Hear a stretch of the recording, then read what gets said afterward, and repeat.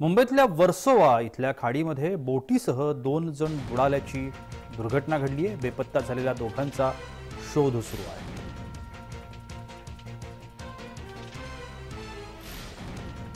नेमकं या दोघांचं काय झालं?